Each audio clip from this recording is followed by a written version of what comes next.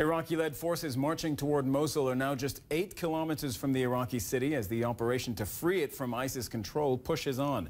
Kurdish Peshmerga forces are now closing in after days of fierce fighting, along with a number of territorial gains. A total of 100,000 troops are taking part in the offensive to reclaim Mosul. Officials say that they'll likely face an intense street battle after entering the city that has been held by the terror group for more than two years. Let's head east now to the Iraqi city of Erbil, where we find our Nick Paton Walsh with the latest. Nick, uh, good to have you with us. Peshmerga is just eight kilometers away from Mosul now. How close are we seeing, are we to seeing this battle move inside the city itself? Quite some way off, Cyril, in all truth.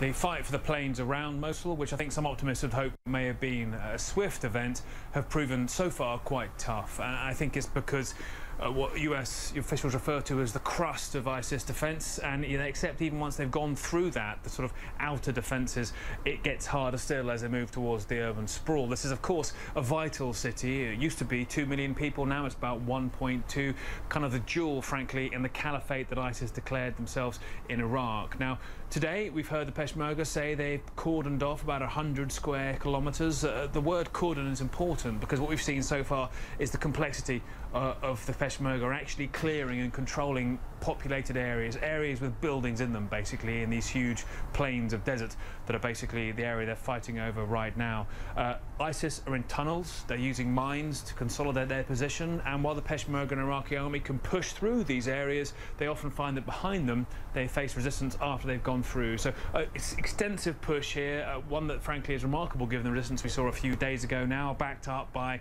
coalition artillery and airstrikes, allowing them to gain this kind of territory. But still, there is a tough job behind them because the territory they're supposed to have got control of now is important to allow civilians out from any future fighting, to allow the resupply of troops as the fighting continues, uh, and it isn't really homogeneously under their control at this stage, Cyril.